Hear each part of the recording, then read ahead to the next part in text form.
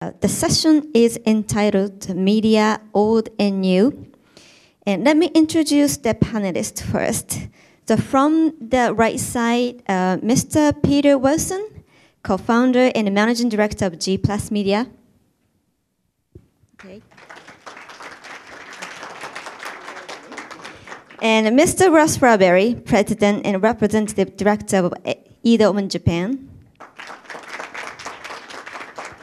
And Professor Jun Murai, Dean and Professor at Faculty of Environment and Information Studies, Keio University.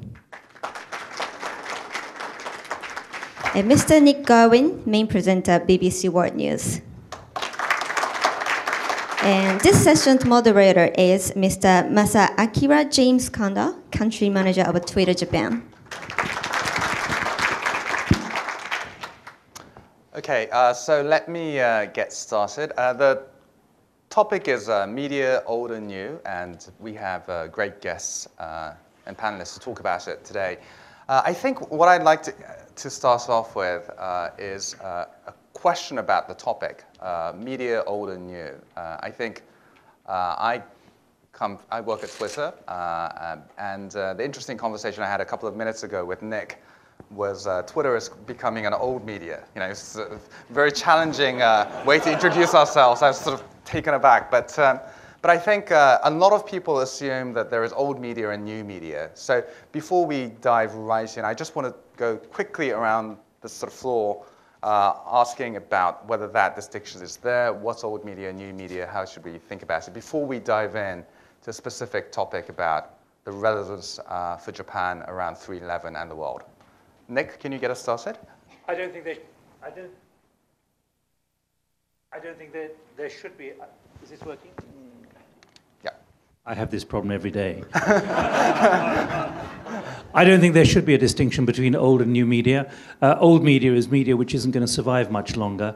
New media is old media which can be then uh, adapted, monetized, and made available on this digital form and probably is moving towards, certainly when it comes to the printed press, is moving towards the, the point where there will be no more printing presses and it's going to be hastened by the recession, which is making life even more difficult when it comes to shipping and everything else.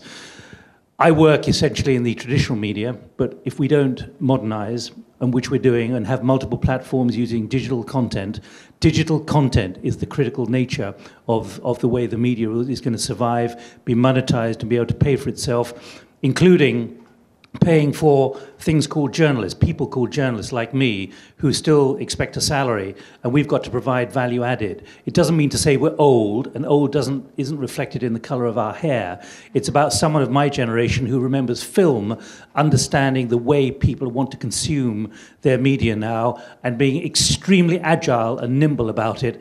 I can still read newspapers on this and journalists are still being paid to produce what appears. That is the exciting part of this new media environment we're working in. Okay, yeah, I, I basically agree with, uh, you know, the, there, there should be a no distinction between the new and old. But uh, there is a one, uh, you know, especially from the experiences of the, the earthquake, and the right after that, probably the most famous uh, uh, impact was Twitter, you know, yours. Anyway, so the, the, in, a, in a, probably the 60 minutes right after the earthquake, then you know, there is a tremendous amount of the Twitter messages uh, going, starting from Japan and going around the world, retweeted and uh, you know, everything. So uh, there is a nice uh, movies on that, right? Um, impact. And now, uh, that was uh, basically Twitter is a broadcast, right? Because if you tweet, and then everybody in the world would hear. So this is a global broadcast media. So uh, so uh, nobody, I mean, not many people talking about Twitter being a broadcasting media, but it really is. Uh, but the, what's different between the other media and the, you know the, the, the other media actions happening right after the earthquake was that the other probably the other newspaper I don't know about the BBC but you know they received they checked with the uh, the twitters and uh, then also that they uh, kind of uh, they could identify which person is a kind of trusted origin of the tweet, tweet, tweets. Okay, so so there already already a tweet, uh, trust in there the personal messages around the world. Okay, that is, I agree with uh, Nik about that. Uh, you know, the traditional media, like uh, you know the, the, the broadcasters and the, the uh, newspaper and the other uh, things. I mean, edited and uh, you know the, the moderated.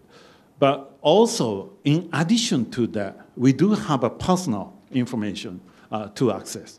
And then there is a tremendous of a personal, personal messages as well as the, uh, the information generated automatically from our devices or the cameras and uh, with the location information in it. And uh, then now the uh, situation has been changing. That's, to me, it's a new media.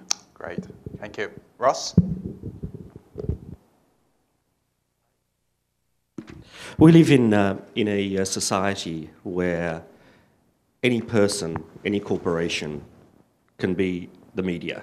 Anyone who's sitting in this audience today tweeting is the media. Um, so I think the distinction is not so much between old and new, um, but it's in how we classify the way that we use the media, both to broadcast and as we consume it. Um, we tend to think of it in terms of traditional media, hybrid media, social media, and owned media. Uh, and uh, I think it's really important that corporations and governments and people understand that they really need to use all four of those platforms to reach their stakeholders these days. Peter. Very good. Very hard to follow. I don't, not, not much more to say, to be honest. Uh, I, I, take a slightly different approach to this, and uh, look at it from the user perspective or the, the reader. And um, from the beginning of the internet, and especially now, I think the 311 was a good um, kind of uh, display of how there's a big, there's the, the shift is accelerating from the, the power shift from the publisher being the deliverer of, of everything um, to the power shifting over to the user, and the user being so empowered with social media and other lots of options out there on, on the internet to get information, uh, to make choices, to get recommendations. Um, so I see the, uh, the, the, difference is between companies, uh, publishers, governments that can get it, that understand that the power shift has already occurred, and how do you uh, get what you want from a company strategic um, point of view or from a, a, government policy point of view, um, and still empower all the users uh, or the readers of whatever it is that you're you're doing. Um, and, uh, and, and, from my point of view, from a small business point of view, make money. Um, because a lot of that empowerment of the user is in complete conflict with the way I make money. And I have a few examples of that, but I'll stop there. Great, thank you. So for this session, I, I thought what would be helpful is um, to try to look at two things. Uh, first of all, focusing on 311, uh, because it's such a, it was such a major thing uh, in Japan uh, looking at uh, how the government uh, and also the business used, whether it's old media, new media, or a mix of media, and how effective the, they were and, and what the learning points. But also, hopefully, sort of pulling back at the end to talk about the sort of global picture of how this is evolving. Because Japan is a specific example, 311 being the most pertinent Japanese example in recent years. Uh, but uh, a lot of things like 311 are happening around the world, and what can we take away from that? Now, I want to do that while giving the floor most of the question and answer session. So I, I am going to be restrictive just in the way that Nik is very good at doing this with other people, of cutting people off uh, at about five to seven minutes. Uh, but I, I, want everyone to be sort of having an initial comment, but really opening it up to uh, the floor uh, after we do that. Now, let me start off with uh, Murai Sensei. Um, you've done this incredible comparison looking at what happened with the media uh, after the great Hanshin earthquake. And at that point, as I remember, that was the time when mobile phones were starting to penetrate Japan. You've compared that with 311 and how people have used media as things like uh, Facebook, Twitter, and other social media have appeared. Uh, and I know you've written uh, extensively about it. If you could compress that message about what we can learn uh, from that, that would be fantastic to just set the scene. Okay. Um, yeah, probably. Yeah, there, there could be a you know that was in 1905 when the, the Kobe earthquake was happening. And then, you know, they remember the internet was on the people's hand in 1995 because of the Windows 95.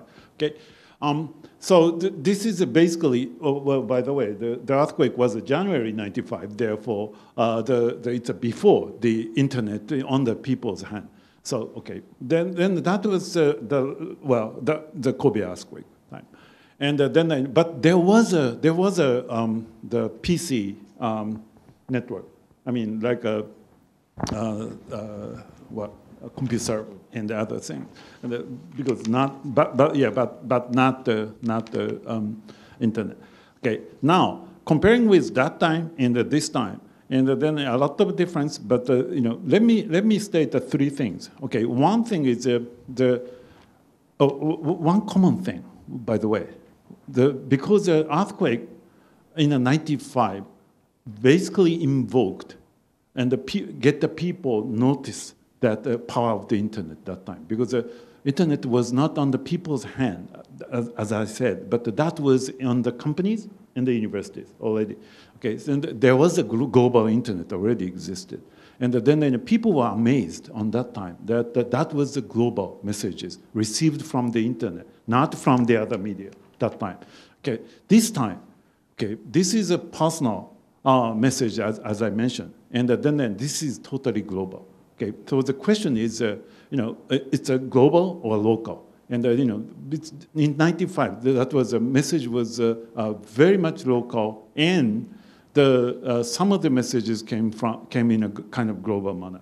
This is 2011. You know, this is a totally global, but still the message in a local was very much lacking comparing with the '95. And uh, so uh, that is uh, basically, the, the second point is uh, um, the personal devices was uh, uh, communication to be used because it was a battery backup and then you know the antenna for the 3G cell phone was a battery backup and you have a, a, battery charged devices with you this time, not last time.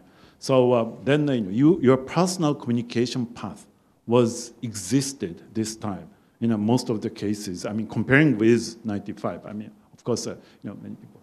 The third important point was the digital divide.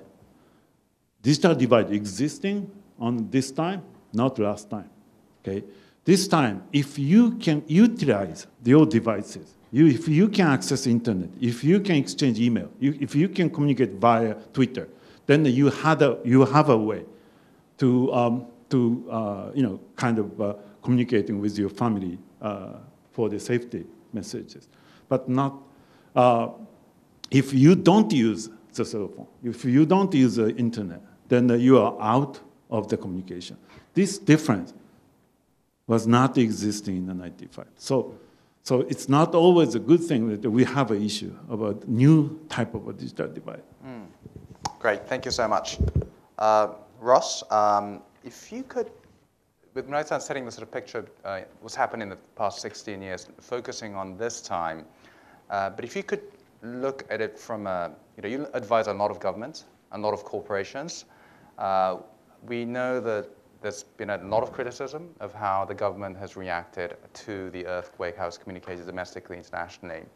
Um, there's been a lot of criticism of several companies uh, about their supply chain, and probably most notably um, the a lot of the focus has been on how TEPCO, for example, uh, has communicated within Japan and outside world. Uh, what have you seen uh, in terms of how the users, uh, both public and the private, have used the media uh, during the earthquake, and what can we learn from that? I've got five minutes, right? um, I think one of the most interesting things about the 311 um, crisis and the way that the media reacted was um, we, it was the biggest story in the world at the time, and we had thousands of journalists from all around the world descend upon Tokyo, um, which of course was relatively unscathed, um, and they were unable to get up to the Tohoku area, um, and so they tended to be not writing direct stories, but ne needed to sensationalize it because they had no visuals, nothing to write about. Um, and I think the media at that time were probably had a great need for information to fill the gap that they were um, uh, that they were uh, because they were not able to get pictures of the real situation up in uh, Tohoku, um, at least not directly. Uh, and so we had a, a, a, dynamic where there was a very high demand for uh, information uh, that was not being met adequately by the government um, and corporations, and particularly in this case, I think TEPCO, uh, in the case of the Fukushima um, reactor.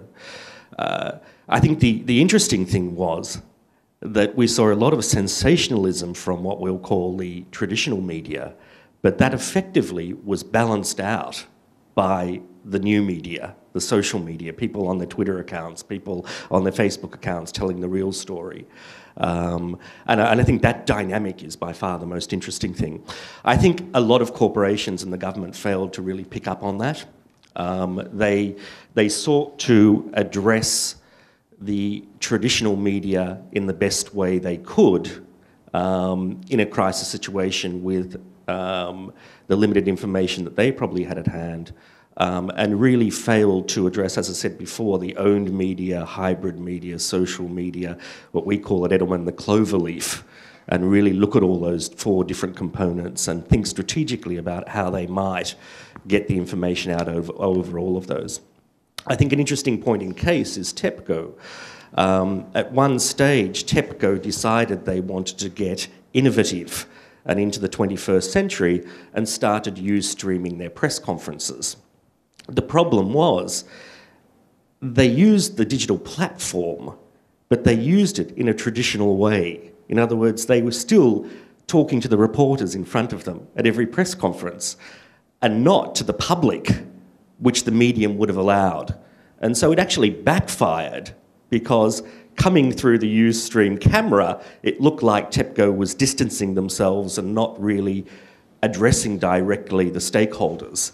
Um, and so you, you, could see instances where they tried to adjust and tried to be innovative and use these new platforms, but they failed to address the fact that they needed to use them in a new way and looked at and tried to do them in a traditional way. And I think that's where we saw a lot of failure. Uh, and I think a lot of lessons learned. I think we're seeing uh, companies now being a little bit more creative and understanding. Great. Peter, um, you run a business uh, in Japan, uh, media in Japan. Um, what, what did you see uh, during the crisis and, and, and in general, you know, how, how do you see the sort of market evolving here? Uh, well, we saw a year's worth of traffic in an hour, and uh, it was very difficult to deal with that uh, sudden influx of traffic coming from all over the world, uh, which I think kind of just shows. I mean, we're, we're a small guy, right? We're JapanToday.com. We're we're a niche. We're Japan only news, um, and I guess one of the reasons why we got all that traffic is because our guy was was running into the shaking building to uh, to write the story and, and get it out to the social networks and uh, and through our, our, our network of um, partner sites for content distribution. But there was an absolute um, void of uh, available information. Um, most of our stories come from, from the, the wires, um, but we also had uh, people um, going up to the up to uh, Fukushima area and uh, writing stories. Um, but the main thing you know, for us was to get as much information as possible, and we have contracts that we have to keep with the wire services, and they didn't quite, um, well, they basically, they, they didn't cover the needs of our users. So going back to the users thing, our users were demanding from us information. And so we um,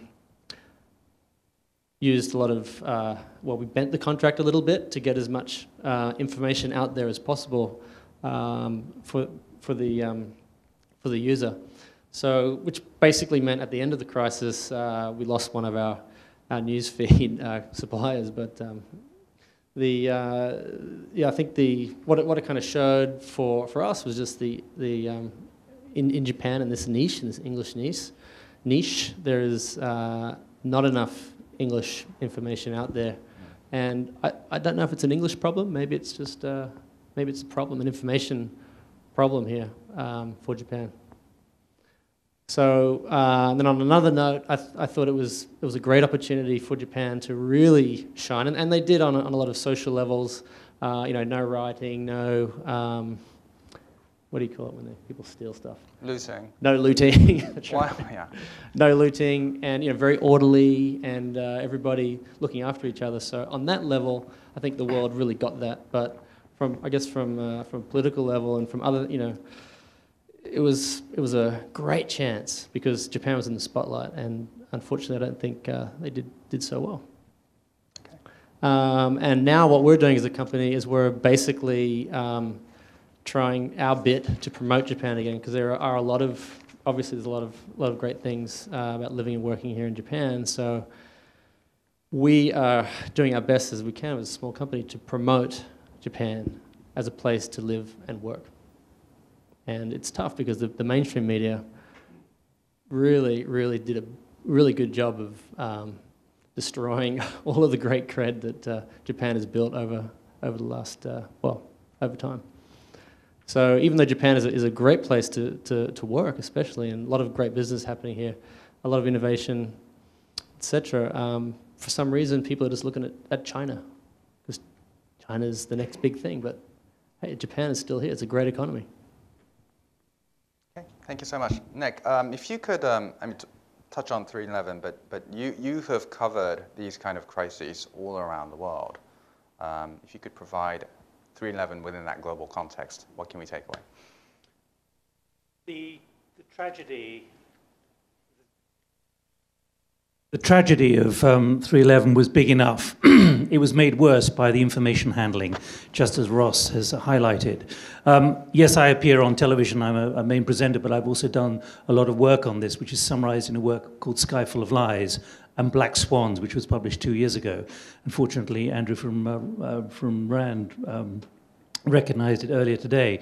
Why do I say that? Because the work that I've done, which is peer reviewed at Oxford University, about Skyful of Lies, a rejection of what is happening out there in the new public information space, which is much broader than the, the media as we think of it. It's the public information space, which has essentially turned the whole thing on its head, where those at the top no longer have the power that they believe institutionally they will have because they're in power, whether they're corporates or governments. So the two came together here with the handling by the government, and I know you were involved in setting up the process, even though you just left the office just before all this happened.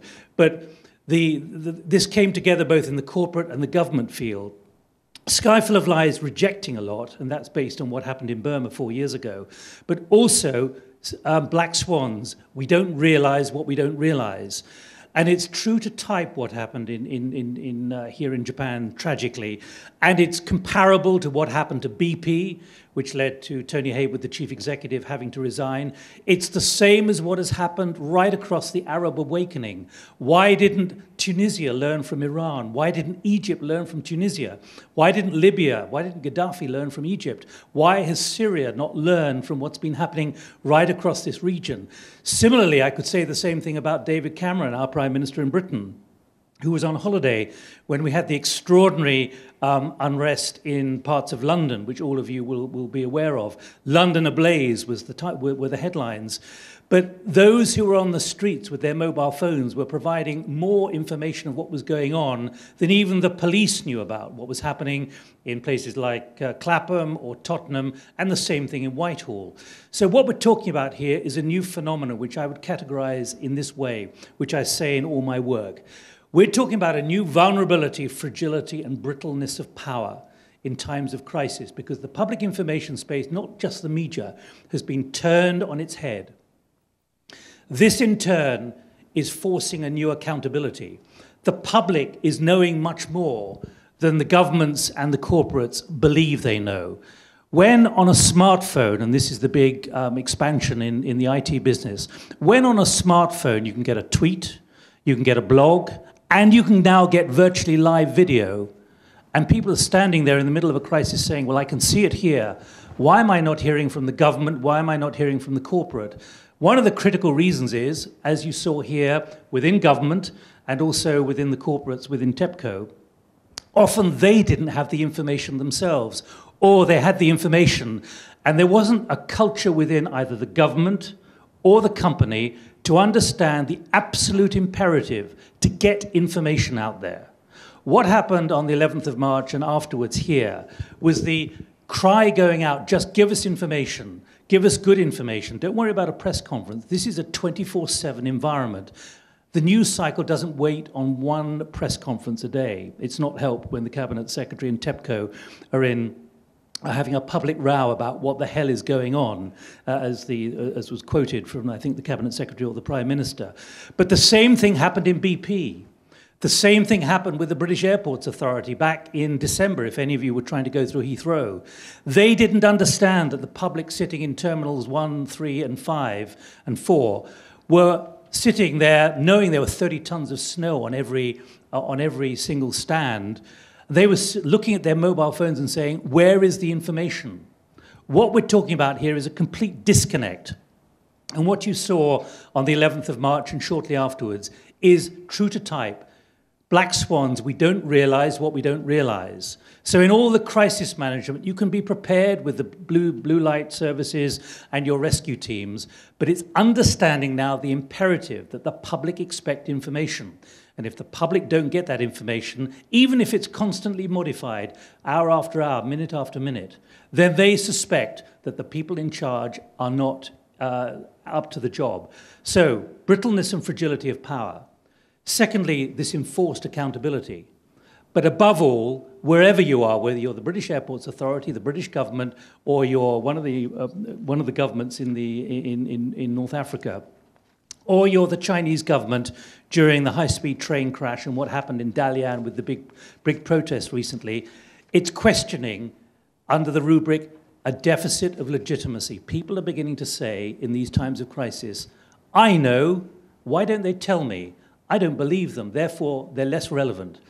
And so this is part of a trend, and tragically, you've been through it here. And I was struck by hearing, and this was on the record, um, from the head of the planning department at the foreign ministry. We met at a conference uh, in Brussels at the end of March. And he said on the record that we all had the information within government, we didn't understand the absolute necessity to get it through the system, get it up there and out there so the public knew what was going on. In other words, th- there are three other points which I want to make to you finally. This is about mindsets, and the mindsets don't understand the profound change in the public information space. This, in turn, is creating an absolute imperative now for behavior, behavioral change. It doesn't cost money, it's about civil servants and corporate executives, from chief executive right down through the system, understanding that something is profoundly different and it's changing by the day and by the hour, not by the month and the year. So these are critical areas summed up with one, one word denial. Sky full of lies. It isn't happening. We're in control. It's completely the opposite now. The public empowerment is uh, is, is sweeping, not in a way which you should blame them for. This is great for journalism. It's holding us traditional journalists, it's holding our feet to the fire. If we get things wrong or not accurate enough, we're told very quickly through tweets and blogs. So our journalism is getting better. But this issue of denial, those out there at the tops and middle ranks and generationally towards the top of companies and governments don't understand that the system is profoundly different. And tragically, what you saw on the 11th of March is only the latest and one of the most tragic examples of how ill equipped most institutions of power are to handle all of this now. Nik, can you, can you describe, I'm just going to go to the book. Uh, can you show, the, I, I just want right. to make sure that everyone catches this book. I didn't ask him to ask me to do that. um, you can download it free off the web, Skyful of Lies and Black Swans. Yeah, great, thank but you. But interestingly, I have to say 41,000 people have downloaded it in the last year, in its second year of publication. I'm not making any money out of it. That shows there are a lot of people out there, including from many countries who I won't mention here, who are in semi authoritarian regimes who are worried about this, but know that the systems are not robust enough to cope. Right, Ross? You know, um, I guess seven, ten years ago, um, I would sit across the table from clients and crisis situations or adversarial situations, I'd say to the CEO, I'd say, this is very simple. The equation is access to information plus quality of information equals controlling the media. So you just need to be available 24 hours a day. You need to be there. You need to have a higher degree of quality than the guy on the other side of the crisis. Very simple. But it doesn't work that way anymore because the access to information is out there in the public. You can't, you can't beat 7 billion people who are, who are tweeting. So the whole dynamic has changed completely. And it's not really only at that very high level in terms of governments and corporations. We've just done an interesting study on health and the socialization of health, and people don't believe what their doctors tell them anymore. There's two dynamics. People either look it up on the web first and then go and ask their doctor if what they read on the internet is correct, or they take the information their doctor gives them and then they go and look it up on the web to check whether their doctor's telling them the right thing. And the percentage is about the same. So it's this whole breakdown of trust that we're beginning to see going on at all levels of society.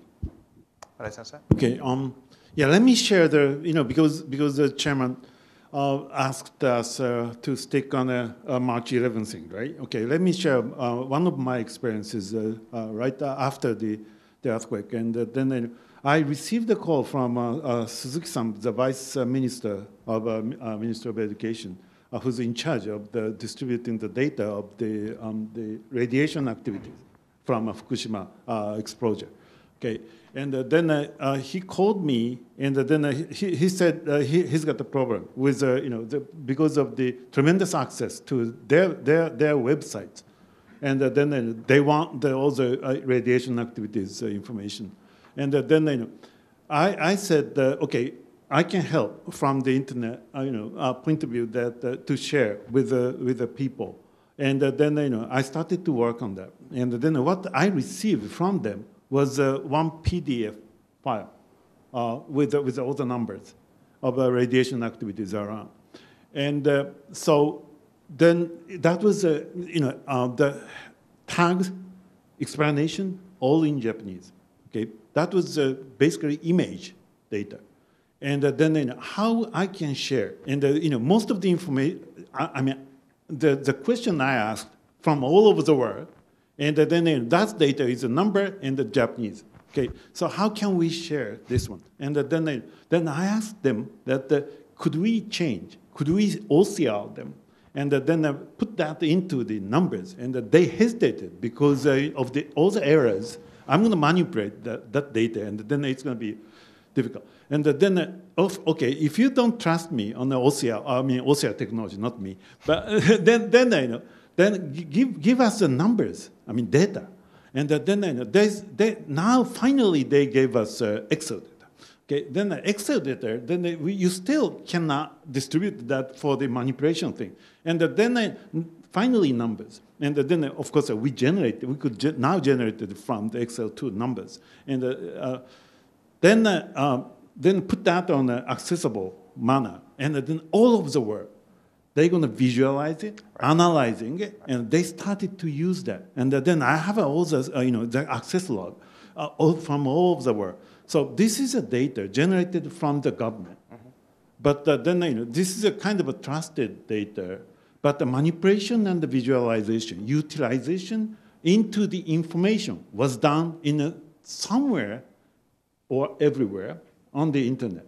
Okay, this is now um, probably learned by our government now. Mm. Okay, so the, the multiple languages. Oh, by the way, the multiple language was translated by the Keio University student, and they, for the the 11 uh, you know, languages. So that was not done originally by the government, and uh, no uh, reusable data was generated uh, from the government from the first point. But uh, now, week by week, they started to uh, change it, and all the languages that we are translating by the students now done by the, some professional inside the government structure. So after the two months, and then you know, all the data generated from the government is uh, simply numbers, accessible, uh, remanipulated by from the, the uh, you know anywhere in the world. Now, and then the multiple languages, especially in the English, started from. So uh, they learned a lot. I mean, you learned after. No, no, not you. You, you left the government already. but anyway, so so I, I think that was the experiences I had. So uh, this is a, certainly the very good experiences of our government for the, you know, generating the information to the, to the net. Great, thank you so much. I, am going to open up to the floor, uh, but I'm, I have, as a chair, I have the privilege of also calling on people uh, on the floor. So Kaji-san uh, is sitting back there. Uh, he, uh, uh, just for people who don't know, Kaji-san used to um, run a lot of the new programs uh, at Nissan in terms of communications. Um, one of the very few good things that I did in government as I was leaving last December was to um, have someone like Kaji-san come into our global communication office. Um, and, uh, and he's been instrumental in terms of setting up the global communication uh, room, uh, getting government on Twitter, Facebook, uh, having press conferences, um, and also, uh, you know, I think touching on what Murai-san was talking about, um, letting a lot of information flow out, although probably, you know, from the discuss discussion today, not enough, probably not because of Kaji-san, but because of a lot of resistance uh, in the government for getting stuff like that out. But I'm going to come back to him uh, after a while uh, and reflect on the discussion as the person trying to implement uh, a lot of things. Because clearly you could do a lot of stuff in Nissan that has been successful. You had those ideas, you were in government, there was a crisis. You know, what could you do? What couldn't you do? What can we take away from that? So I'm going to call on him uh, after a while. Uh, but let me open up to the floor for any questions. Now, um, one question each. Can you name who you are uh, and also choose the person who want, you want answered? So no multiple questions. No, can everyone make a comment? Okay, so I'm going to start with you. Two, three, four. Okay. Hi, Steve McClure, freelance writer. I can only ask a question of one person? Uh, or initially, please. Initially. Okay, well, I'll see who goes for this. Um, returning to the theme of Japan itself, in a society such as Japan's where uh, uh, traditional media ownership has been very concentrated historically. To what extent and how can new media help Japan become a more open, democratic, and less hierarchical society? Great. Who, who do you want to have? Um, well, Nik says, says, well, no, no, okay. Because um, I said I would help Nik avoid jet lag, but. Um, that's, not the, that's not the issue. That's not the one. Okay, all right. Um, any of the other gentlemen, please, then. I think maybe Murai, Murai-san, if I can call on you to answer. He, uh, Murai-san sits on many of the important government committees that looks at uh, the role of the media in society. So. Well, actually, the, the, the topics of uh, this session are old and new media. I mean, you know, the, the, we've been, you know, working, I've I've been working for a long time, probably past uh, five, ten years with the Japanese broadcasters uh, to work with the, uh, the internet. And uh, so the web and the TV uh, is uh, one of the subjects, you know, the Japan kind of initiated, but recently the European EBU, European Broadcasters Union, uh, generated the 19 principles on the you know, relationship with the internet and TV. Actually, the, during the earthquake experiences, that, you know, that is exactly what happened on a, on a traditional media, uh, you know, kind of uh, uh experienced with the utilization of the, uh, the internet and other uh, personal media together. So uh, I think uh, you know the, the, the getting back to your original question, how can we uh, kind of modernize the Japanese traditional media? I think that's a really big issue, and it can be happening with kind of setting up the principles of uh, traditional media relating to the internet media uh, and how they can, they can do. I mean, regulation, other things, and a lot of conventions, uh, they can kind of uh, fix things. Uh, you know, that's a good start. Can I comment? Sure. No, yeah. I'm sorry, I can't contribute anything about Japan, but uh, certainly what we're seeing around the world, and I don't know how different Jap- Japan is, particularly with the next generation, not the young generation, but the next generation, is the way people are consuming. And we should talk about not channels or old and new media, but platforms. In the end, I produce digital video, but digital video which appears on multiple platforms. One of the dilemmas for the BBC is, under our licensing arrangement, whether if people consume what we produce on a laptop or on a PC, does that mean they should be charged a license fee? Because they're consuming, but they're not consuming under the old Radio Telegraphy Act. Now, I put that in because it, it underlines one important thing that people are consuming information in multiple different ways. They're looking for brand strength and places they can rely upon. And um, I'm slightly surprised if, um, and I've got to be careful how I put this because I know I'm on the record, but if the platforms here are simply not adapting to this new reality because we're having to adapt, otherwise, we don't have a place in the market. End of story. Um, second question was back there, three, four, yeah. Hmm. Please. Uh, thanks very much. Do you think it's a bit, um, Uh, can you name yourself? Sorry. uh, Dan Slater from the Economist Group, do you think it's uh, somewhat absurd to conflate um, uh, technology platforms like Twitter um, and so on uh, with journalism? Journalism, of course, has the function, the, the, the mission of producing information which is fact checked um, as much as possible. It seems to me that the contrast is not between old and new media, but be- between unfounded, um, unfounded speculation and information that actually um, rides, uh, or, which can punish the journalist if he gets it wrong or reward him if he gets it right. And who's that for? Um, that's for Nik as Okay, a Nik, yes. journalist.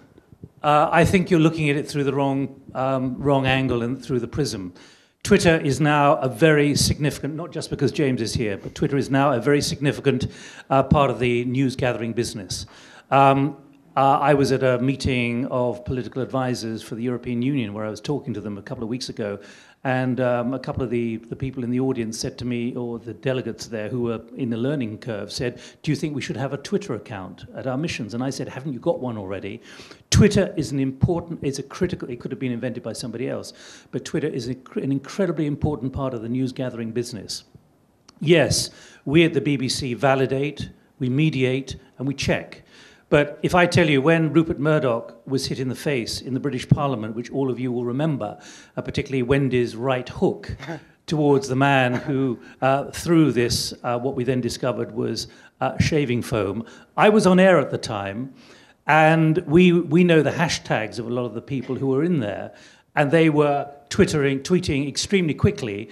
And I was able, within about a minute, to go on air and say, well, he's just been hit in the face uh, by, it appears to be shaving cream, and it's probably cheap, cheap shaving cream because it had a particularly foul odor. now, I knew the source of that tweet. And therefore, the journalism was just as good as any other journalism, like picking up a telephone or walking out into the corridor. A lot of what we've had from North Africa, particularly from Libya, has come from Twitter. Um, and again, not just because James is sitting here. So I think you're taking a rather traditional, suspicious view of this. Yes, we have to be careful. Yes, we have to mediate. Yes, we have to authenticate. But it speeded up the, the, the, the, the delivery of hard fact to an amazing level where the time the, the time shift is possibly no longer than one or two minutes. That's amazing. Great. I'd like to make just one, one comment on Sure. that. Uh, the other the other thing um, to consider is um, what the user or what the what people out there believe. And in the past, it was okay. I'm going to sit down at six o'clock every night and watch the news, and that's that's the reality. Um, but now the reality is, I believe this guy don't even know he's made a comment about something, and he has this fact. Wow, really? And that's now the. I, I'm a I'm a user. I, I don't fact check. That's too hard basket. I'm not going to do that. But I go to japantoday.com, I read the news, and then under the news, there's all these comments. And the comments are just as compelling as the, the actual fact, the fact checked uh, article. Um, so I think that's another thing to, to realize is the, what, the, what people believe is the word of mouth. And that's, for, for better or for worse, very powerful. Great. Could I just add? Sure. You know, if, if someone is tweeting and they see see a puff of steam come out of Fukushima or out of another nuclear plant or elsewhere, and it's from a reliable hashtag, you believe them. Third I question. didn't, say- I didn't say if. I said if you know the person who's sending it. Okay, third question, yes. Uh, my name is Satoshi Hirose. I am a corporate executive officer of a company which is handling call center operations and contact center operations and also some, do some work um, researching the social media. Now, my question is to Nik, or possibly if, if the others okay. Um, as Nik mentioned, uh, I, I totally agree that the vulnerability and agility of the social society is being triggered by the social media the more I meet with the CEOs of companies, I see, observe some kind of fear or some con- strong concern about how can we govern the company with this kind of situation. What would be the key successful factor to, to survive in this kind of a enormously, swiftly changing environment? They say that I have a clear vision to cope with, but my organization can't handle that. Now, I think now we are in a time of a new survival, the new era of survival of the fittest. And I want to know your opinions on what would be the key to, to be a strong, nimble uh, organization. Thank you. So, Nik, your million dollar question. Is that all? Ross will be able to um, answer what it's like when he's hired by a large corporation to uh, resolve the dilemma in their minds as to what to do. I will give you my perspective, not least because I give quite a lot of presentations, not many, to corporates and governments. And I'd say still that there's an enormous level of denial, uh, which is why I still call it the Skyful of Lies, because most people hope it'll go away and it won't affect them uh, as opposed to realizing that this is the likelihood of it, them being hit by this, particularly if they're in the risk business, whether Qantas with an A380, which has lost a cowling because there's been a malfunction in an engine which could have left, left, left 500 dead, and the, the chief executive didn't know for more than almost an hour that this had happened, even though that on, on Twitter the pictures were coming in from northern Indonesia of the cowling sitting on the ground with a kangaroo um, painted on it. Um, it's this still, that's why I use that word, denial there is still a level of denial. And Pete, uh, Ross should be saying this rather than me, but the Edelman Trust Barometer back in January uh, showed a very important change this year, which was the public expect to hear right from the top now, which includes the chief executive. That's a big change from a year ago. Uh, and it's, it's a reluctant um, change that most are prepared to make. But I would say that by and large, a significant number of those who've made it to the top of that generation find it really difficult to say to actually even begin to embrace the inevitability of what I've described certainly which is why I talk about denial fragility and vulnerability because most generationally as we saw dare I say in TEPCO here do not want to even accept the vulnerability and therefore it's a critical part of their corporate planning. Now can you just elaborate on if you have that right mindset, you know, what are the one or two things that you should be doing tangibly? Why didn't you ask Ross that? Because that's what he tells Okay, companies. Ross. Ross. Uh, yeah, I think it, it is a mindset issue. Um, and I think the first step is the realization that it is a very complex world out there and that CEOs and companies need to embrace the complexity rather than try and simplify the complexity. Um, is that first? That's the big mindset change, I think. The second thing is, I think CEOs need to listen more intelligently. It's an engagement issue, not a public. Well, it's not a public relations world anymore. It's a public engagement world. Um, and engagement means a two-way conversation is at the core of that engagement. So it's not the CEO communicating his corporate strategy to his employees anymore. It's him going out and listening intelligently to the conversations that are going on out there and then finding out how he may be able to influence those conversations or participate in those conversations. I think they're the really two, two key points. Embrace the complexity and listen with intelligence. But there's a lot of denial still. Yeah, there's a lot of, there is, and, and I think the denial is about the need to do those two things. Ross, if, if I, let, us say I'm, I'm a corporate executive or I'm a head of a government, and let me try to push back, even if I don't have denial. So one example we saw um, after the earthquake was uh, Mr. Edano, uh, the chief cabinet secretary the person. Now, just for everyone, chief cabinet secretary uh, in Japan has three functions that are typically split uh, in other governments. One, he's the chief spokesman.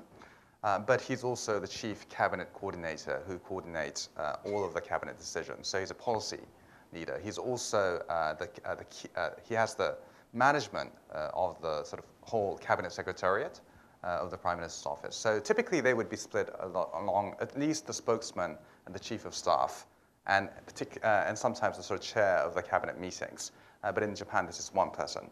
So with that background, one of the most popular hashtags on Twitter after the earthquake was Edano Nero, which means Edano, get some sleep.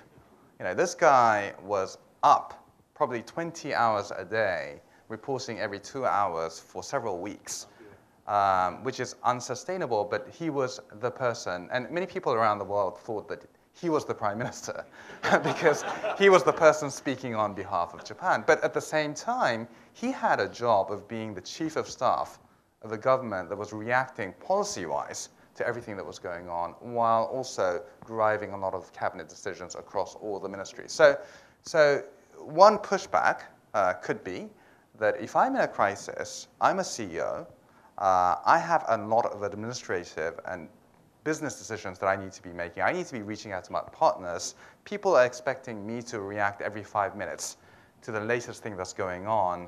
Is this even humanly possible? And how can I do it even if I want to do it? Uh, it's not humanly possible. um, and I think the, the, the, Edelman Trust Barometer, uh, which uh, very kindly referred to, um, shows a couple of things and a couple of different dynamics in different countries. It's true, when we compare the data to five years ago or even two years ago, people want to hear from the CEO.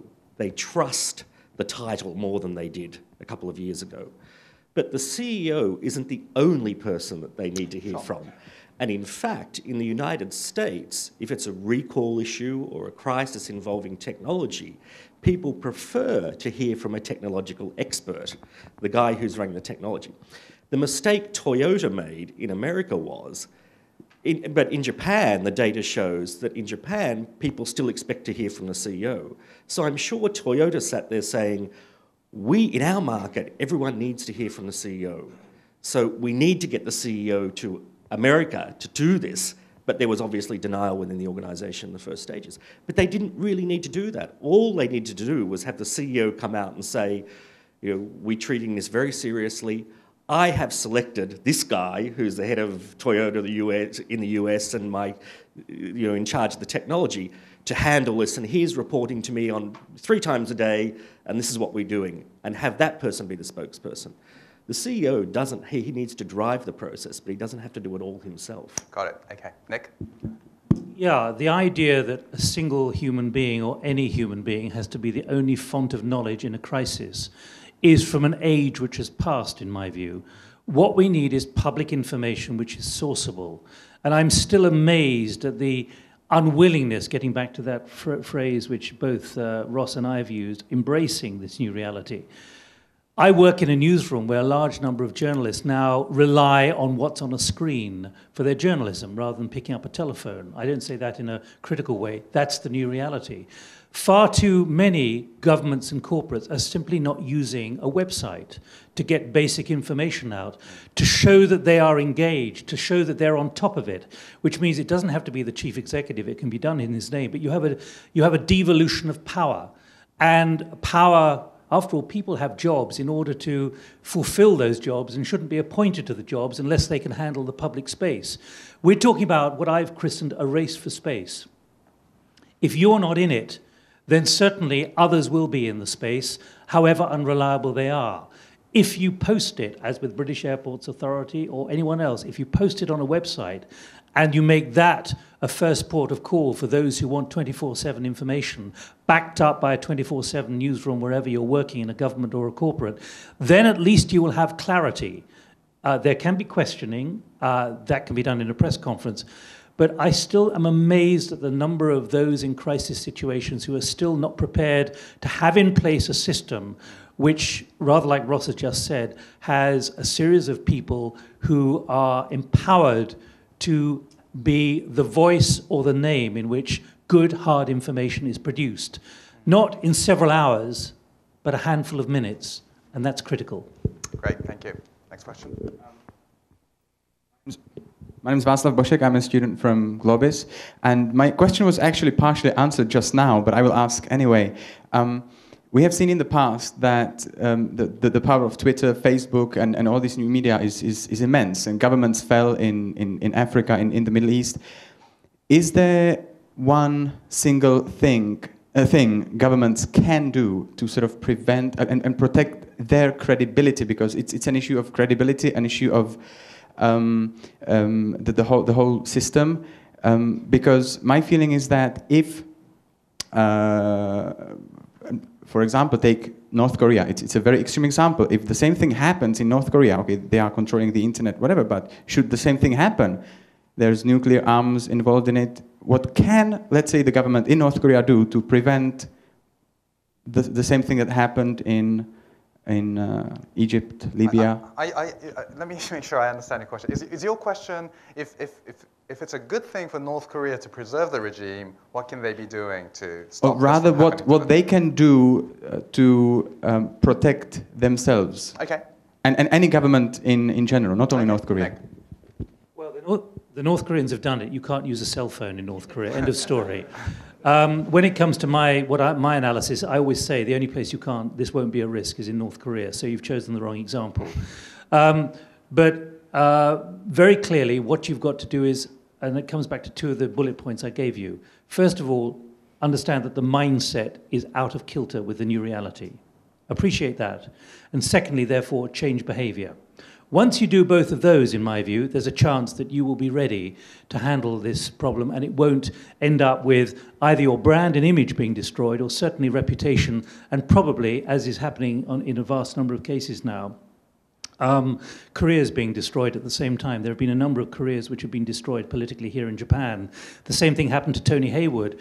And at a seminar a month after he formally left BP in November of last year in Cambridge University, he actually said, These were my black swan moments. Even he, running a risk corporation around the world involved in risks like Texas, Texas City, the oil, oil refinery, the rusting of the pipes up in, in North Slope, Alaska, even he had not fully understood just how profound the impact of this new public information space is. BP did not realize last year that 22%, I'll repeat that, 22% of the social media space in the United States was consumed by only one issue, and that was the Gulf of Mexico and BP. That's what brought him down, and it brought down the company. They're recovering now. But that is the scale and the profound impact that this has.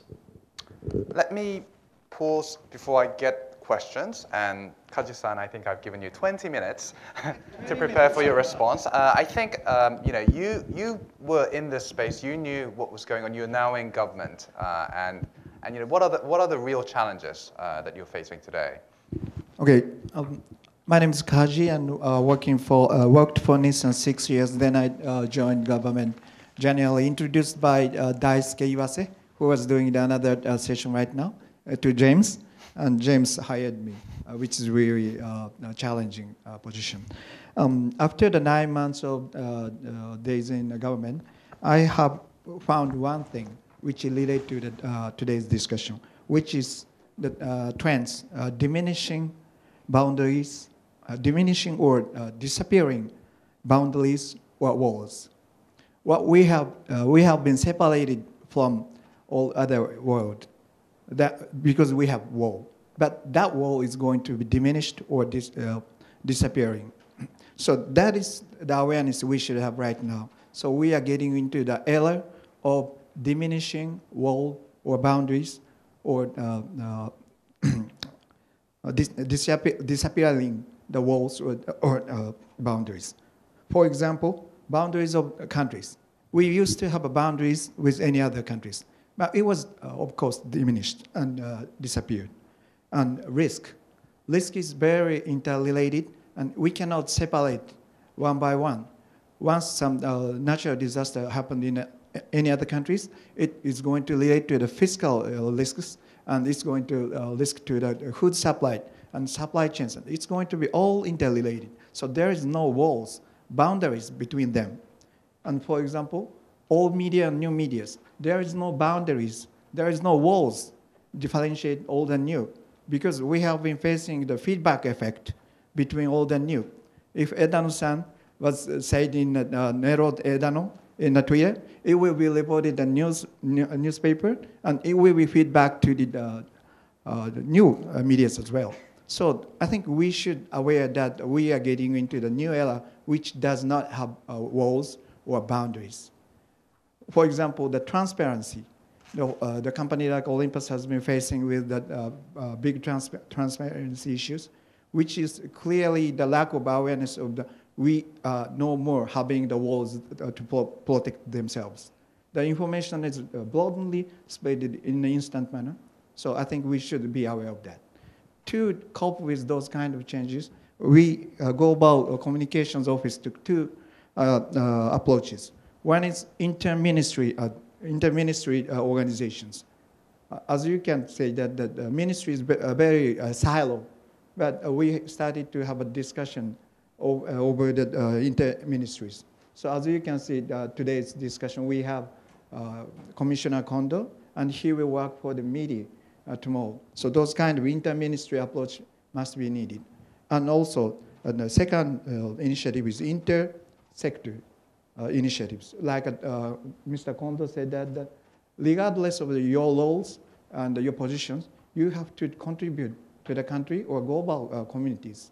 So, uh, so thanks to the uh, Kondo-san, I tapped into the government, and I'm very glad he gave back to the government as well. So those kind of uh, role-less or uh, positionless move uh, or uh, approaches must be needed. That is my observation. So we think we should get into that uh, new era, which does not have a wall or boundary anymore. Nik, comment? Could I just ask, how much resistance are you still facing? And how much is the mindset even beginning to change to understand what you've just said? You mean from the internal government? In the government, internal? yeah. I think that uh, there is a separation, uh, uh, uh, generation, sep- uh, generation uh, separation is there. I have to say that, that uh, people under age 45 are pretty flexible, around 45, pretty flexible to the new uh, momentum or new complexity or new uh, mindset. But I have to say that director level, but uh, that older, pe- older uh, managers tend to very reluctant to change their uh, mindset or leadership style. So I think that the next generation is going to be more responsible. I think that the government is going to change. Maybe you can smell that transformation from uh, Furukawa-san's uh, speech uh, this morning. And also some of the uh, politicians here is uh, different from the old-fashioned uh, politicians. I think you already uh, noticed that. That is a generation gap situations. Yeah, Am okay. I, am I uh, clear enough? Uh, I mean, Uh, I think the quick answer to the next question is is, uh, is a huge resistance. Uh, so Well, that's um, it's difficult for Kaji-san to say that, but uh, I mean, what he was talking about, I mean, inter in, interdepartmental coordination in government uh, is is uh, is almost uh, I wouldn't say impossible, but uh, extremely difficult. So to drive something that seems so normal like that is, is huge. Uh, also, bringing outside people, engaging the public or even the, uh, the businesses or the NGOs into a government decision-making process is almost uh, unthinkable for most people. So I think you know, the two things that he raised, which seem quite normal, are completely abnormal uh, in government, and anyone trying to push that uh, obviously would face a, a lot of resistance. I think it's important, if I can just give a reflection, that what you're facing and the way you've just described it is typical of every government. Um, no government I know, apart from maybe the US State Department now, which uh, through Alec Ross and Anne-Marie Slaughter and the, the Secretary of State herself, they've really made big strides in the last year. There's a lot to learn from them, um, and it's odd to be giving that kind of level of compliment to the US government in particular. But I can tell you, there are many, many governments who I've spoken to who I believe I've almost been talking to a brick wall. And if there is a generational change, those below feel oppressed. They realize the new reality is necessary and has to be embraced, but they feel oppressed by the generational overload from the top and also just the system which simply can't adapt at the speed that the information space is changing. So I don't think you're alone on this. The, question is how all of you manage to meet this demand and when people like me in my organization phone you up and say we want information not next week but now. So I, I want the panelists to wrap up for five minutes at the end. I have five more minutes. Let me pick up like two more questions. Uh, I have seven hands up. Um, I would okay. summarize. Okay, let me let me um, let me okay let me let's go. Th- uh, can you actually can we go through the questions and then I'll have the panelists wrap up, but also address some of the points. So let me for those people whose hands, hands were up, I, I saw about six or seven. Yeah, just keep them up. One, two, three, four, five, six. Okay, six of them. Let's let's just run through them. Okay, go ahead. And, can you name yourself? Sorry. I didn't know there was time. Roger Pulvers. I'd like to ask you, Mr. Kondo, as someone involved, yes, Okay. in this particular area. There's been, uh, uh, since the, around the middle uh, Meiji era, a tendency, almost a national characteristic in this country, to avoid confrontation. There's no such thing in Japan. There hasn't been for 150 years of what one would call shiru kenri, the, the, the right to know. In fact, the Japanese have a right not to know. They feel they don't want to know. It's the Japanese people who are in denial, not the media or the government. Um, in, uh, the fact that WikiLeaks was taken uh, was taken was not taken seriously in this country uh, as it was in Britain and Germany, and to a certain extent in the United States, is is part uh, certainly illustrative of that. Uh, I think the Japanese have a profound uh, hatred of anything that smacks of whistleblowing or giving out any kind of information which people don't feel they they have a right they should know because it's it's not about me it's about somebody else and they, they close their ears to it i mean there was a film called mimio sumaseba but the, that doesn't that they don't do that uh, so is there is this changing in japan the people who are your constituency uh, do you feel that there's more demanding uh, that they don't go around saying, you know, I want them to do it. They, that they go around saying, I want things changed. I want to know. Because certainly in the several generations that preceded this one, this was, this was not uh, evident. Okay, Thank you. great. Let's, yep, um, this gentleman. Oh, my name is Seiji Yasubuchi. I work for J Capital. And a simple question. So given all the changes, what would be the best defense for the company? Has it fundamentally changed? Okay, great. Okay. Others? Yes, please. Yes. Uh, I'm Nobuyoshi Hori from uh, University student, and I got a quite a challenging question that uh, why don't you mix up the uh, old and new type of media? For example, on the, the uh, March 11th, on the each station, there are no English information available. So the foreigners were suffered because they're at loss. So just mix up the uh, new media on hanging on the station so that everybody can see the Twitter, official Twitter from JR or some other transportation company or the bus stops, bus stations. Why don't you think about a uh, mixture of new media and old stuff? Okay. Others? Yes.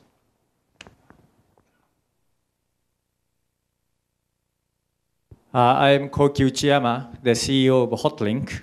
Our company is uh, serving the social media analysis and monitoring tool. And uh, I want to get uh, feedback from you about my uh, new idea about uh, missing piece of media. I think from the, many companies want to promote their product or company name with less money by Facebook or Twitter. But that is a dream or fusion. And from the viewpoint of analysis, almost the big impact on Facebook or Twitter is stimulated by TV. So the role of TV is stimulating the people. And the role of Twitter or Facebook is to uh, extract the uh, opinion from users.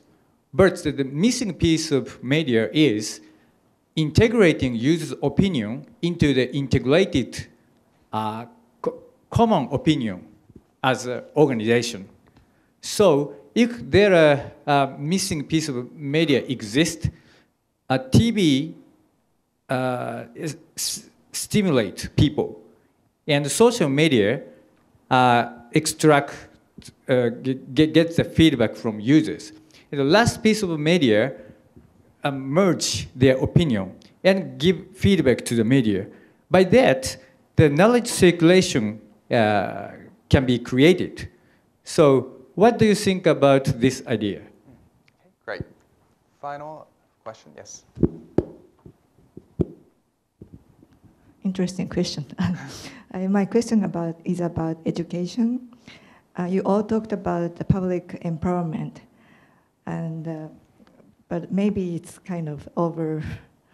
Um, it, it's a like excess expectation because um, Professor Murai talked about digital divide. I think it's more like a social media divide because my parents didn't uh, even know how to tweet or, or they don't uh, have access to that uh, information.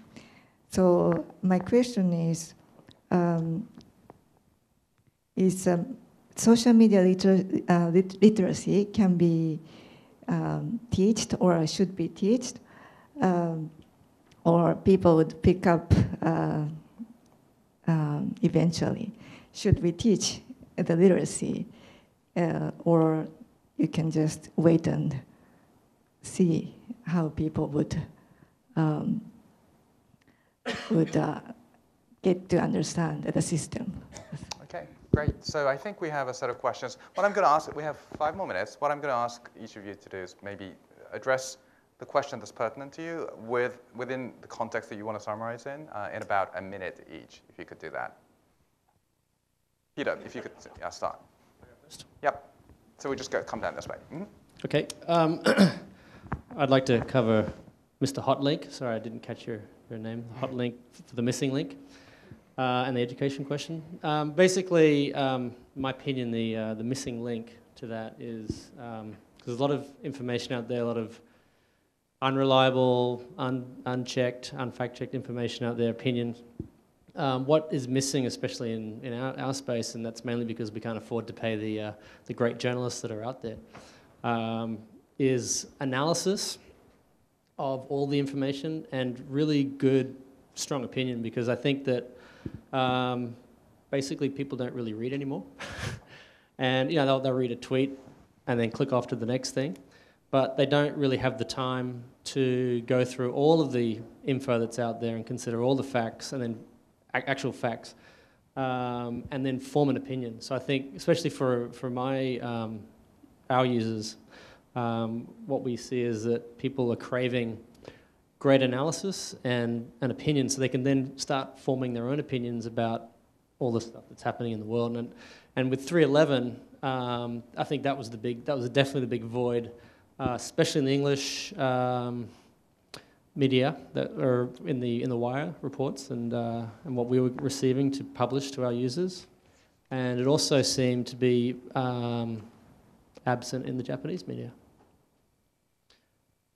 And I'll, uh, to address the, the education piece, uh, you mentioned he had an odd, uh, interesting question. I think your question is going to be an odd question 10 years from now because everybody is growing up.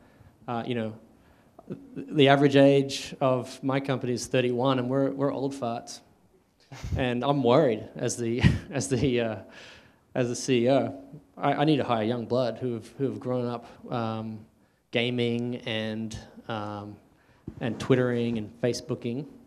So um, I think you know in the future that'll be an, a, a, very odd question. Everyone just knows it, but for the for the current, uh, if it's relevant to you, for for example, for your parents, if if it's relevant, if you're communicating with them via Facebook, then they should definitely try to um, learn. But if it's irrelevant to their daily life, then I, if I never look at a computer again, I, will I'll be happy.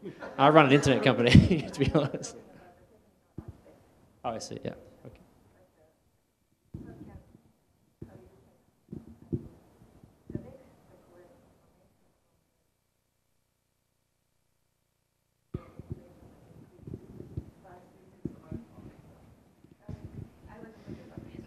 Okay. all right. Okay. Okay, great. Ross.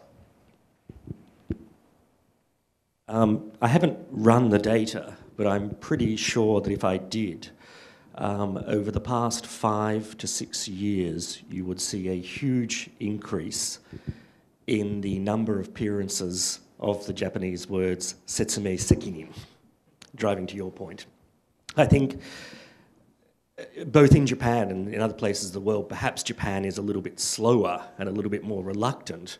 Uh, we are seeing a new age of accountability that is being driven by um, what we have termed here the new media, the digital age. Um, and the best defense for a company really is, as I said before, is to embrace that complexity. Uh, we have a huge explosion in the number of media channels available now. Um, we have the traditional media. Coming to your question, we have the hybrid media. Um, you made the point earlier that you pull in news feeds, which is the traditional media, but you also have people making comments, which is social media. So that's a hybrid media. And we are seeing that also beginning to emerge in Japan, um, that sort of hybrid media. And you have the social media and you have your own media. Um, an explosion of channels. People can share information immediately. The speed and interconnectivity is much greater than it was um, before. So people need are getting used to the fast fix of news. They can access it across four different platforms. They, they have their, their tablets, they have their smartphones, their PCs, their TVs. Um, and so, coming to your point, TV drives it because TV is a fast fix. Visual information is much quicker than sitting down and reading text. And if you actually look at the way information is shared on the web, a huge amount, percentage of that content that is being shared these days is video content or pictures, not text content. Um, so we are seeing this huge explosion of channels, of interconnectivity, um, of the way people can, the platforms that people can access this information. But at the same time, we still have a limitation of 24 hours a day and limited intention to be able to consume that media. And I think that's a new dynamic that we're all going to have to start getting used to. Um, and perhaps the way to do that is, is include that in an education. Great. Okay, nice. Okay, um, RFC 822. Do you know about that? RFC 822 is a standard uh, to describe the email. And uh, the original uh, standard uh, definition was uh, use English ASCII for the email. You know, that was the original definition. So we couldn't use a different language than the English uh, on the email. And uh, therefore, then, uh, you know, the, the, a lot of uh, Japanese um, industries and the engineers are working on that. And if you noticed, Twitter, what, what is the character limit of Twitter? 140. 140, okay. 140 English characters versus 140 Japanese characters. Okay, this is totally different.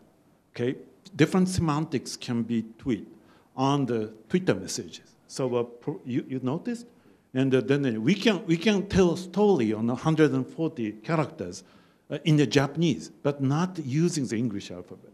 Okay, so this is a totally different way of uh, you know each independent culture, languages, and uh, you know have a different way of uh, media use, usage of media. Okay, TV questions, you ask me, you ask us a TV, uh, you know, usage, I mean, connecting with the internet, for example. Um, TV, uh, the, the, the adver advertisement income business in the UK uh, for the internet exceeded the TV now. You know, that this is a business. But in Japan, you know, it's a twice as much in this country. So the, that's the reason why the Japanese uh, impacted from TV rather than the rather than the internet messages or social media in this country. So this is characteristic. I'm not telling that this is advanced or, or, the slow or whatever. This is the culture. And uh, then, you know, so it's really um, important that the, the, you know, the respecting the language, cultures, and uh, other things in order to uh, uh, talking about the media. And uh, then it's really important that, the, yes, internet is a global space. And then the internet, Twitter can travel around the world. But uh, please note that the language is used on the Twitter, contents of the Twitter. Uh, you know, variety of languages in there and the variety of um, the, the culture in there. So, so as the education. So we really have to be very careful that matching with our kids and you know how they grown up and how they learn and uh, which language they they're going to use and uh, then you know we, we really need to um, watch that kind of a situation to introduce the media to the society. So that's what we've been doing. Great, thank you. Nik, final words. I have, every, I have every confidence that the next generation is going to pick up all this technology at high speed, does it anyway, whether they're rich or poor. If you go to India, if you go to Africa and see the take up of the, and the ability uh, to, to pick up the technology and to use it. It's remarkable. Uh, in the transit lounge at Seoul Airport last night, I was amazed. There were three kids telling their mother how to operate the equipment. You know, they knew at the age of six or seven how to do it better than she did, um, which I think is indicative of just how profound this change is. let's remember one thing about, uh, and I have to say this as, an, as part of an organization where we have to mediate, we have to authenticate, and we have to be very careful. Uh, when you go to a bar and you have a beer and you gossip, you don't have to mediate and authenticate what your mates tell you. Um, and Twitter is now a text form of gossip in many ways, and we have to look at it in those, in those terms, and the, therefore be quite suspicious. If someone picks up the phone to you and says, Have you heard? do you believe them? Or do you just wait and say i'm going to check that out so let's not be too high-minded about all this. We've got to find new filtering mechanisms for something we've done always done.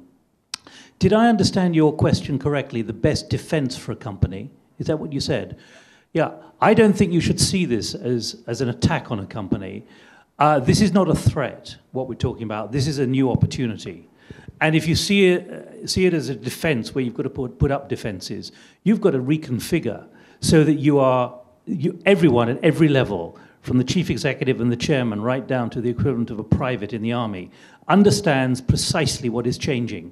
That they don't leak everything, much as I'd like to get leaks. They don't immediately put it on YouTube. 48 hours of material for every minute of the day now is being posted on YouTube.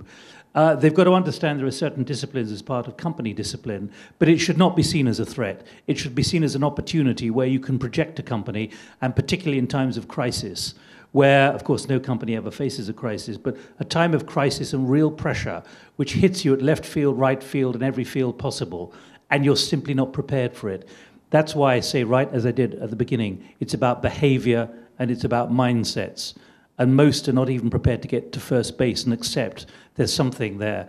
As I often say, the most elusive, I'll say it again, the most obvious is actually the most elusive in this new environment. Great, uh, thank you so much. There's a question to you now. No, I'll, I'll just, so let me just try to. But there is a question to you. Okay, so, so 90 seconds just to, just to close. So I want to get you out. Um, on your question, I, I think the most um, inspiring thing that I saw during the earthquake uh, was actually people requesting help on Twitter uh, and solutions coming from users. So there was a lot of uh, hashtag called JJ Help Me, Japan Jishin, like earthquake, help me, of people who were stranded uh, in areas where the government still wasn't there minutes after the tsunami. And, uh, and a lot of people used just geotagged them and pulled them up into a map. And a lot of people went to actually help those uh, people. There, were, there was a hashtag for people who were pregnant, who were, uh, had to sort of get medical help uh, guidance. The medical society, the maternal society actually used those hashtags to get doctors to tweet you know, solutions to them way before the infrastructure was set up. So I, I do think you know, that's a very different kind of engagement. I, I think there was a lot of distrust of uh, the government, but people saw that if there were issues they could address, a lot of people were willing to come forward in a direct way, which I thought was very heart, you know, heartening and also hopeful about the future, because I think in a crisis situation, you can't really, you, you do want to rely on the government, but there's a lot people can do, and there's a direct way to make that happen. So I'll just mention that example. I'm just going to end up with like three words that I really took away uh, from this. One was uh, this whole notion of uh, public information space. And I think we, we tend to discuss something like that, but what we imagine is very, very different. And I think uh, our commentators touched on the very different nature of how public information space is now created and consumed and analyzed, uh, which I think is terribly important. The other uh, word I took away was new accountability. And I think we're seeing, know, Olympus example being the most recent in Japan, but uh, this mindset and behavior really not adapting to the new accountability that's needed. And, and I think the speed with which executives and government ministers get kicked out these days uh, when they don't meet that new accountability is so fast and so intense. Uh, and I just mentioned one number for tweets. You know, a very trending topic uh, in, a, in, a, in a Twitter today is about 5,000 tweets per second. So that's an incredibly intense level of emotion and words that's flowing at you. So Olympus, at one point, was hitting several tweets per second uh, in terms of wow, how people were feeling. So that's a kind of movement that you need to be moving extremely fast for with a very, very specific uh, set of information that you want to get out there that, that these companies were leaving hanging around for days and weeks. Uh, and it took them no time to get sort of swept away. Uh, but the last word that I really took away uh, was uh, this notion of engagement uh, as opposed to like protecting. How, how do you engage? And I think it's a very practical thing that all of us probably will be walking away from today. Uh, you know, it's one thing to get the mindset. It's another, you know, it's, it's another thing to sort of leave away the defense mechanism. But how practically to start engaging uh, is a huge issue for many people. and we're not set up that way typically.